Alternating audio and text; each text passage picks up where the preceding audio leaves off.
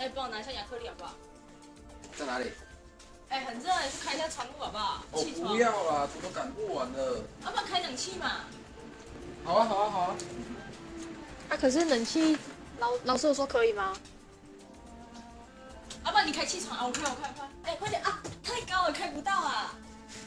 快点来帮我啊！我来。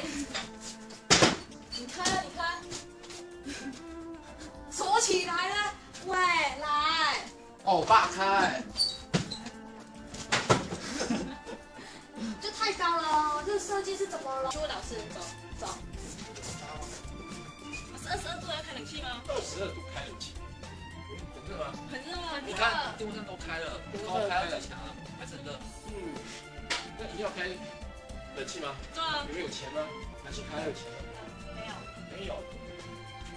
连连气窗都没开啊，当然不会凉啊。太高了，我看不到，而且还锁起来如。果这么高的都看不到，啊连你这么高都开不到，不兴奋。哦，好吧。从刚刚影片看，合力数对来搞成的气窗。我们介绍制作的第一步就是，我们先钻孔，钻到旁边这里，旁边这里把它转开嘛。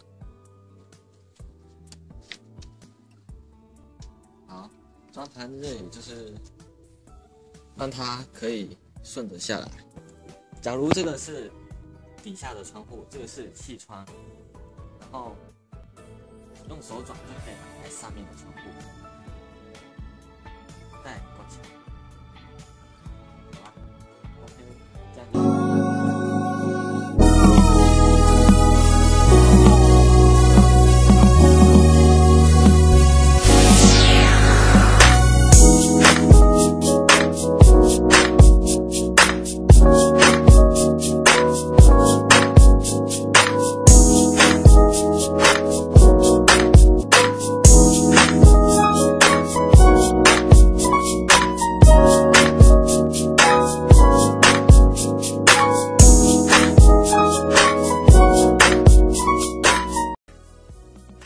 现在是在测量室内温度的变化，每三十秒测量一次。几度？二十六。二十六。好。现在现在是二十五点七。二十五点七。现在我要介绍浮力通风的原理。在小学，大家都知道热空气会上升，冷空气会下降。然后我们本专题的构想是想说，借由浮力原理改善教室的气窗。每个学校因为学生人数多，而且热气会增加，所以需要借由气窗使热空气散出去，增加通风的效果。然后我们首先的构想是借由平行时的上下推移，以及气那个窗帘的左右拉摆。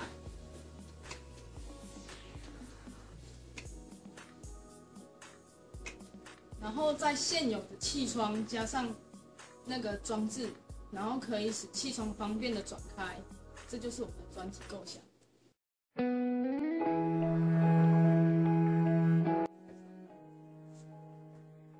经过这次的合作，让我觉得我们定位科跟建筑科能有更多的可能。然后就是我们能绘制工作图，然后能制作材料啊，然后建筑科能提供我们想法和意见，然后让我们就是有更多的发展方向，更多的可能。我们学的基本功就是侧穿跟起穿这两项都有用到，还有前高。我们用到了所有东西都应用在这个直播上面，可以让它更省力，又可以让它让它更好。好。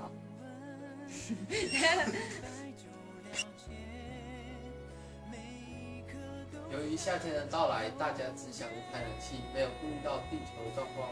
大家为何不开启气窗呢？所以我们想了一个便利的方法，就是在现有的气窗上面加装这个装置，它顺时针是开，逆时针是关，然后建筑可以透过辅翼通风的原理，且以台电的换算单位去做以计算，一个月可以替学校省下八万多块哦。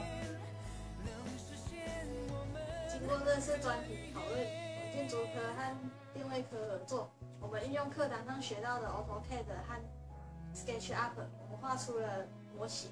实际的在和电位科讨论，从我们画出的模型图中，请他们用他们科的技术把实体再做出来，再经不断的改良与讨论，然后才成为现在有的作品。然后也希望未来能改善上课的风气和大家的身体健康。这就是我们专题的作品——扬眉吐气窗。耶耶。